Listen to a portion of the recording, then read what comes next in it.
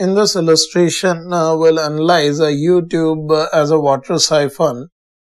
We are given that the bend of an inverter U-tube is kept uh, 1 meter above a water surface with one arm dipped in water and the other end B of a U-tube of its second arm is 7 meter below the water surface as we can see and the water issues from end B of siphon as a free jet at atmospheric pressure we are required to determine the speed of jet at end B and the pressure of water in the bend of U-tube and the atmospheric pressure and density of water is given to us.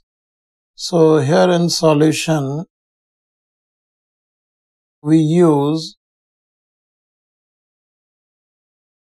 Bernoulli's theorem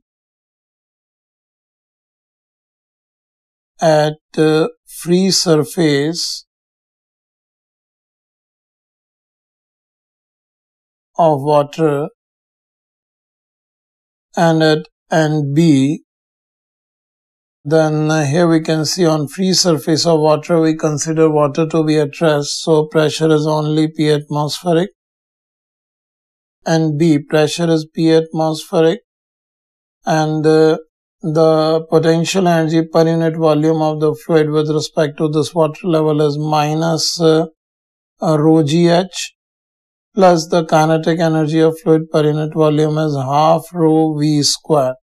Here P atmospheric gets cancelled out and this gives us the value of uh, velocity of water jet that is equals to root 2gh and here h we can substitute as 7 meters so this gives us root of uh, 2 multiplied by 10 multiplied by 7 that is root of 140 which is 11.83 meter per second. That is the result of this problem for the velocity of jet coming out. Now to find the pressure in the bend, again we can use, now we use Bernoulli's theorem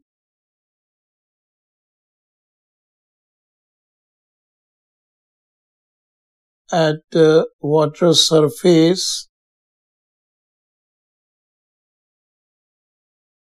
and bend.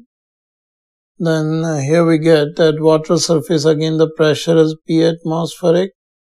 And as the cross sectional area of tube is same the flow velocity of water will be same as that of flow velocity at B.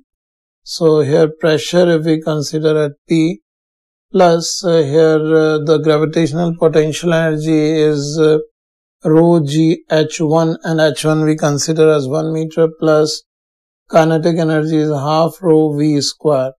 So this gives us the value of pressure in the bend that is P atmosphere minus both of these terms when we subtract half rho v square we can write as rho gh.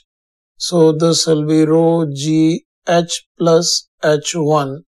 If we substitute the values this is 10 to power 5 minus rho is 1000 g is 10 so this will be 7 plus 1, 8 into 10 to power 4.